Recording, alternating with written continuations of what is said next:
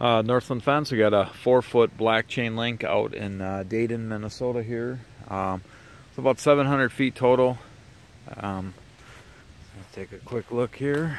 Let's go through. Uh, they finished it up about a week ago here. Took us a couple days.